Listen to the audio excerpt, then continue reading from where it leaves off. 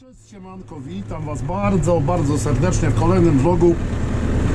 A mamy dzisiaj szósty? Ma szósty. Lub siódmy. W każdym razie Wielki Czwartek. Witam was bardzo serdecznie. Będziemy dzisiaj siali e, mieszankę zbożową e, która nosi nazwę roboczą Alfa a składa się z pszenicy e, Arabella, z jęczmienia Avatar oraz dwóch rodzajów owsa, kiedyś wspomniałem na vlogu, gdy przyszły e, nasiona, a jest to jest to, słuchajcie, e, owiec e, Reflex i owiec Poker. Przypomniało mi się coś śmiesznego, bo ktoś mi powiedział Reflux. Reflux to raczej zgaga. Mieszanka, jak widzicie, gotowa, przygotowana przez firmę Wronkowski. Eee, można sobie taką gotową, zaprawioną mieszaneczkę już nabyć. Niestety, słuchajcie, na polu nie będę nagrywał zestawu. Będzie to bardzo fajny zestaw. Zrobię zdjęcie, zobaczycie jak to wygląda. Będzie siał Marek, e, kolega, który nieraz pomaga mi siać. Jeszcze gdzieś tam nie zdecydowałem się na razie na zakup innego siewnika. Moim starym siewnikiem nie chce mi się wobrować. Eee, są też wał ładnie tam e, przyteguje, jest to siewnik kuna. Z tej prostej przyczyny, bo słuchajcie, jest to zestaw innego kolegi, który po prostu, jak ktoś może pamięta, nie lubi gdzieś tam na vlogach, żeby jego sprzęty, chociaż kiedyś jego kombajnem kosiłem e, jakoś z, z Lima na pszenicę. I po prostu e, mówi, że a, woli, żeby nie nagrywać, więc więc nagram tylko, słuchajcie, TikToka. Wcześniej nie było mnie na TikToku, ale już jestem i może jakoś to wypali. Więc zapraszam na, do mnie na TikToka Krzychu MST 76. Oglądajcie tam, jakaś krótka relacja się pojawi.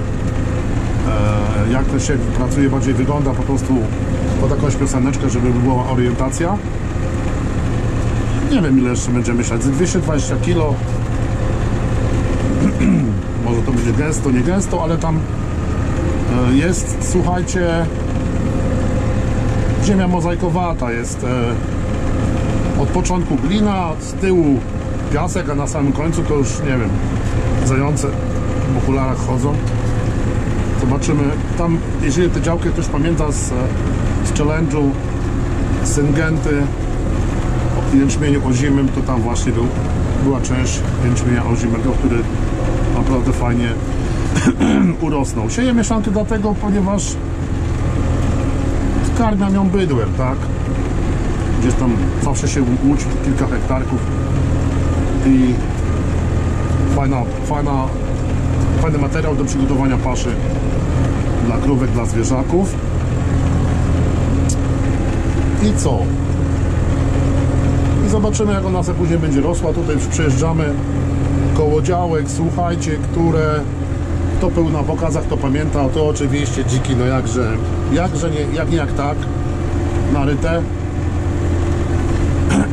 Siew bezorkowy, zresztą też pamiętacie na pewno e, pole z siewu nawozu z Michałem. Tak jak wspomniałem w poprzednim vlogu, druga dawka, dawka azotu rozrzucona. Pogody na pewno różne, już ta mieszanka była dawno zasiana, ale na poprzednim vlogu będziecie mogli zobaczyć jak się zakopałem. E, próbując rozwozić obornik na, tam dalej na polu niemeliorowanym. E, no i co, i muszę czekać po prostu, tak, już bardzo szybko, myślę, że po świętach zrobi się już w miarę ciepło. Będzie trzeba ruszyć e, z ze skracaniem jęczmienia z zabiegiem grzybowym na jęczmińskę jedynką. PR jedynką. Bo to pójdzie bardzo szybko jak będzie ciepło. Na razie tej wody jest. E, widzę, że przeżyta już zaczęły galopować też. Może się uda na polu, będę wam pokazać. Też wkrótce czeka mnie skracanie na pszenicę, ale później siana. I muszę rozsiać nawozy na po świętach zaraz się biorę też na kukurydzę więc no tej roboty będzie, będzie mnóstwo naraz. Dlatego nawet nosiłem się z zamiarem, żeby słuchajcie po świętach zasiać to, to zboże, ale to będzie inna robota, a będzie już z głowy. Te mrozy mam nadzieję, że miną i wszystko będzie jak w najlepszym porządku, bo generalnie czas już na to jest. Wolno sobie jadę, bo wywożąc zimą gnój, obornik, jak to woli, woli czy tam złoto słomiaste, no bo zero mrozy, słuchajcie, i, i tymi ciężkimi szczepami ta droga tak się rozdupcyła, nie wiem, muszę turem ją porównać, czy co. Na spokojnie. Ogólnie ciągnik umyłem kilka dni temu, bo zmienialiśmy uszczelniacz w prawym kole. Ten kasetowy, Ortego, niektórzy wiedzą o czym mówię. Wiadomo, to od błota się dzieje. Ciągnik wymyty, wypianowany, a zobaczcie. O, właśnie, zobaczcie, co się dzieje na masce. Że jestem przy tym temacie. Wchodzą koty i brudzą oczywiście całą maskę. I, I przy tej okazji mam apel do tych, którzy mieszkają blisko mnie i oglądają. Słuchajcie, ja kotów już mam dosyć. Wystarczy. Naprawdę 17 to jest no wystarczająco. Nie podrzucajcie tych kotów do mnie, bo ja wiem, że krowy są i mleko jest, bo tak chyba u ludzi w świadomości to działa. Że on ma mleko, to te koty będą miały dobrze, a u mnie niepotrzebny, u mnie dwa za dużo, to ja mu podrzucę 18. Bo drapią mi belki, dziurawią, chodzą naprawdę, no człowiek ma jakieś tam sumienie, żeby tym zwierzakom krzywdy nie robić. No ale naprawdę, słuchajcie, 17 już jest dość. Mam prośbę. Weźcie tam może, jak już chcecie się pozbyć naprawdę, to nie wiem, do kogoś innego, czy do schroniska, bo u mnie wystarczy. Dziękuję za uwagę. O, też właśnie wchodzą codziennie po tych traktorach. Nie powiem, że szczają na szybę, bo to już jest nagminne. Z reguły traktory tu mają, słuchajcie, tłumik, więc tutaj se chodzą i ryżną gdzie popadnie, a że marzec był niedawno, no też chciałbym się wyspać, no bo w nocy tylko jest mrał i mrał dookoła. Jebca idzie dostać z tymi kotami. Także mycie, mycie tych ciągników, no niestety na nie niewiele się zdaje na razie. Teraz ze słońca jakieś tam wyjdzie, to myślę, że będzie to inaczej e, wyglądało. Z przodu widzę, że Marek już jedzie. Zestaw jest naprawdę fajny, więc e, mówię, nie będę chciał nagrywać e, jakby z pola materiału niestety, no ale muszę uszanować czyjąś wolę. Ale powiedział, że TikToka spokojnie, króciutkiego mogę tam sobie muzyczką wstawić. Więc tak jak mówię, zapraszam na Krzychu MST 76 na TikToka, tam będzie można sobie ten zestawik zobaczyć, a naprawdę jest co, bo to fajny kun. Fajny kun, a że pole nie ma żadnych słupów i tak dalej, zresztą tutaj było tym kunem, zobaczcie. U Marcina Pszenica kolegi, także ja ścieżek nie będę robił póki co tej mieszance dajemy na luz. Sąsiad mi tutaj, kurde, przężyto zanieczyścił. Ech. Jesteśmy na, na Liboriusie, słuchajcie. Wyrwiemy sobie roślinkę. Zobaczymy jak ona się rozkrzewiła, jak ona wygląda. Wychodź. Marek już sieje. Słuchajcie, mam dla Was taką informację ogólnie, że firma Wronkowski przygotowała, jeżeli ktoś z Was chce skorzystać z ekoschematów, mieszanki miododajne, jakieś tam wielokwiatowe, specjalne, specjalna nowość do ekoschematów. Jeżeli ktoś z Was chce no, papierosy wychodzą. Jeżeli ktoś z Was chce wziąć jakieś pieniądze z tego ekoschematu, z tego działania, to może warto wejść na stronę i zainteresować się. Jest to nowość, więc dużo Wam o tym nie powiem, ale zawsze możecie się skontaktować z Remigiuszem Waligurą, specjalistą wielkiego formatu od, od mieszanek, zwłaszcza od traw. Trawa zdobyła nagrodę na fermie bydła, jak widzieliście. Także naprawdę Remik wie co robi. No i szukamy tam, co się dzieje. Jeszcze mamy chwilkę czasu do skracania, bo jest zimno, słuchajcie. Jeszcze mamy chwilkę czasu, ale już tutaj jeszcze nie czuję tego tego słuchajcie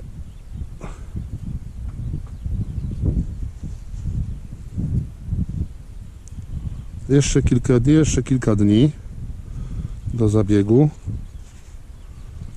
regulacji już tutaj będzie pierwsze kolanko, ale to jest myślę kwestia ciepła i pogody zobaczymy jak jak ta pogoda będzie, będzie, będzie wyglądała po świętach. Wydaje mi się, słuchajcie, że że będzie ciepło według tych prognoz y, długoterminowych. Więc te zboża, które są tak tutaj w tym przypadku tam daliśmy chyba w poniedziałek drugą dawkę azotu.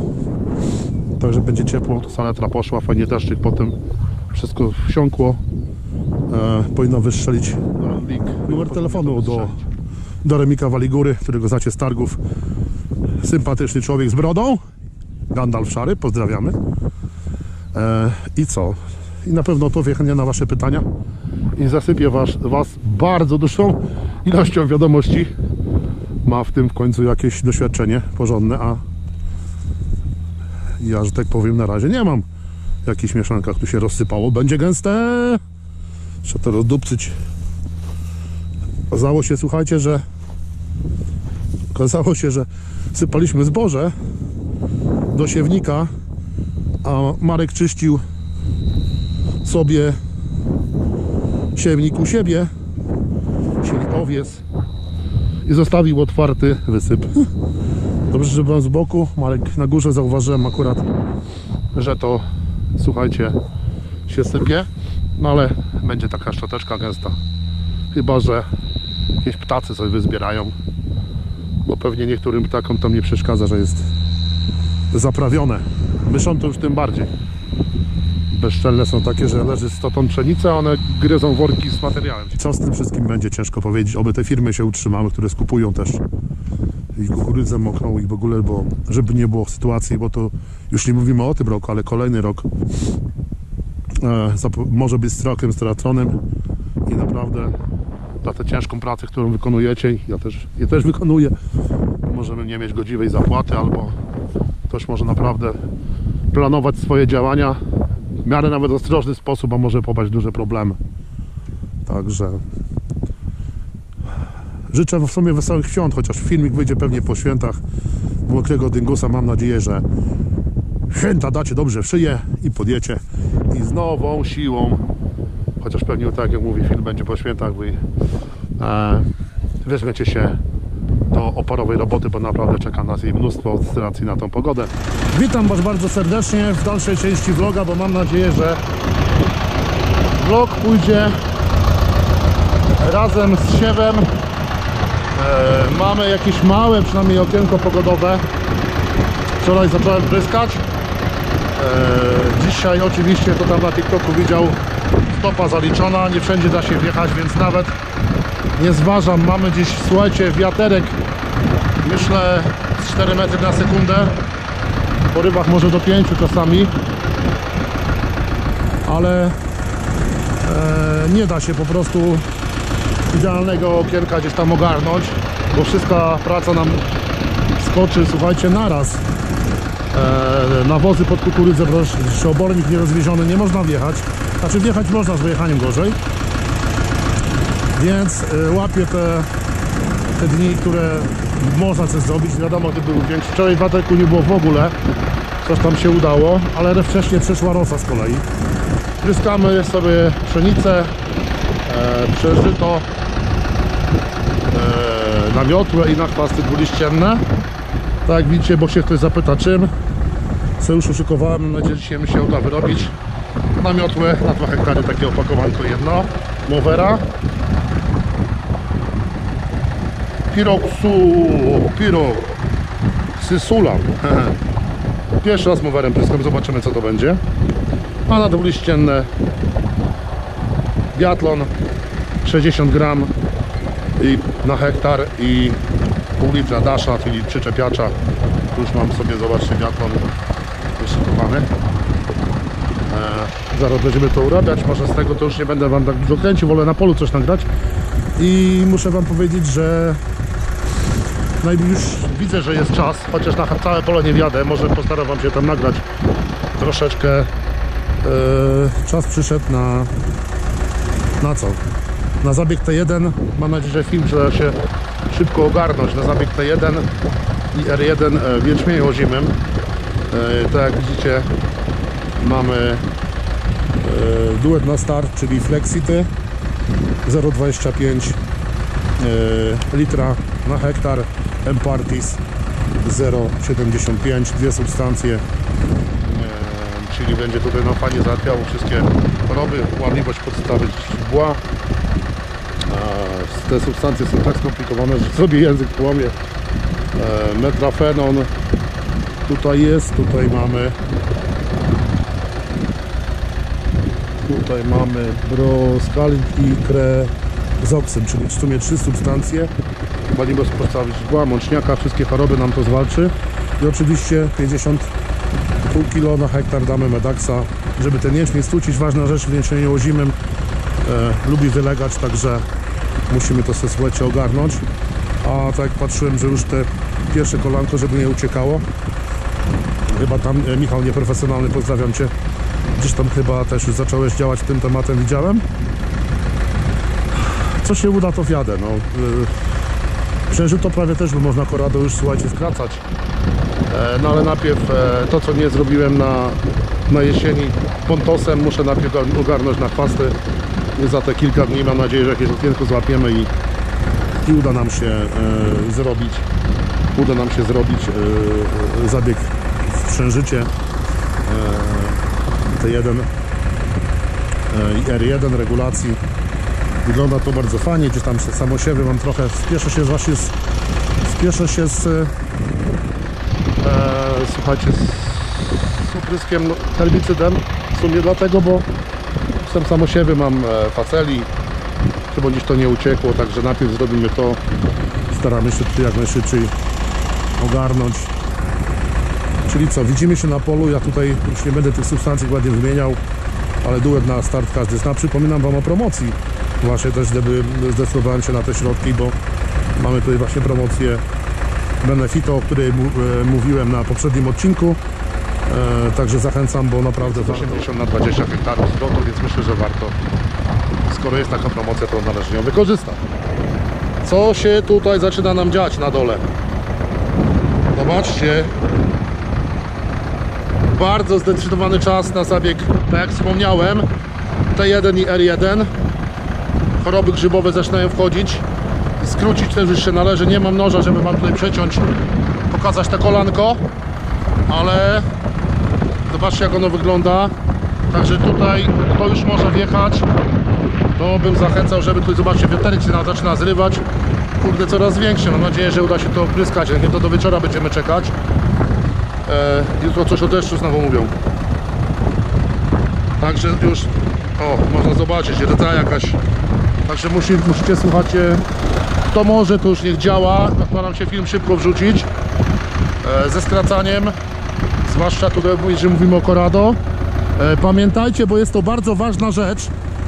Bardzo ważna rzecz, żeby e, regulator wzrostu, na przykład Medax, w pierwszej kolejności sypać do zbiornika. Taka jest zasada. Dopiero później środki grzybobójcze. E, Jęczmień podejrzewam, że ty, jeżeli dzisiaj dam radę, to jęczmień zrobię. No tu będę musiał odczekać następne okienko, żeby wejść z grzybówką i z, e, z regulatorem te kilka dni. No trudno, nie ucieknie mam nadzieję. I pogoda jakaś tam gdzieś tak pozwoli. Wkrótce się kukurydzy, no z robotą jest masakra, nie? Ale jest wilgotno, mokro. Kto widział na TikToku, powtarzam się jeszcze raz, że, że udlomem wpadłem. Nie wszędzie da się wjechać, to też trzeba wziąć pod uwagę, to wiadomo oczywiście. E, ale już presja chorób już jest naprawdę e, chyba to brunatna jest duża e, bo jest duża wilgotność słuchajcie, te deszcze przepadują tej wilgoci jest na razie dużo i dlatego presja chorób też jest duża e, i jeszcze wam pokażę, bo w ciągniku nie będę słuchajcie gadał, bo tam hałas bo wam pokażę taką rzecz, zobaczcie Tada! Była szyba, nie ma szyby. Rodzi się pytanie, co się z nią stało. Otóż ojciec pojechał e, siać nawozy. Jak zwykle mi uważaj tą gałkę tutaj, którą, bo nie jest hydraulicznie szybka zamykana, żeby cię tutaj nie ty. Będzie dobrze. Pierwszy, pierwszy, e, pierwsza siewka przyjeżdża bez szyby. Ja już tutaj i na K, i na H. A mówi spokojnie, Andrzeju, denerwuj się. Szyba z gumami w całości jest w siewce. Po prostu wypchło ją, bo była świeża, nie na słońcu, czyli jeszcze była, wiadomo, w tym słońcu szyba kruch, krucha się robi, świeże gumy powkładane, więc to wypchło ją i powiedziałem nie, nie, nie, nie, nie, nie włożę tej szyby, dopóki nie rozsiejemy nawozów na kukurydzę, e, bo po prostu ją potłuczę, znając go ją potłuczę. Słuchajcie, żeby nie za długo było, lecimy z tematem, bo szkoda czasu, powiewy znowu się zmniejszyły, mam nadzieję, że uda mi się to, co mogę wjechać, jak najwięcej ogarnąć, ale naprawdę wszystko naraz, zobaczcie, wszystko naraz, bo tutaj ich chwasty, no chociaż z 2-3 dni uważam, trzeba odczekać, nie? Najlepiej było tydzień. Ale no będę jechał tutaj, będę jechał, bo naprawdę już, już jest, jest najwyższy czas, to widać, nawet zobaczcie. Dobra, działamy, działamy, będzie hałas, kawałek ruszę, później kamerę wyłączę, żeby wam nie hałasować po prostu.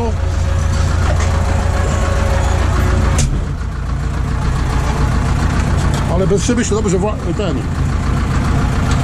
Dobrze się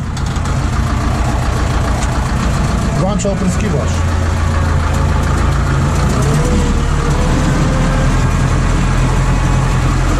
Te powiewy nam zniknęły.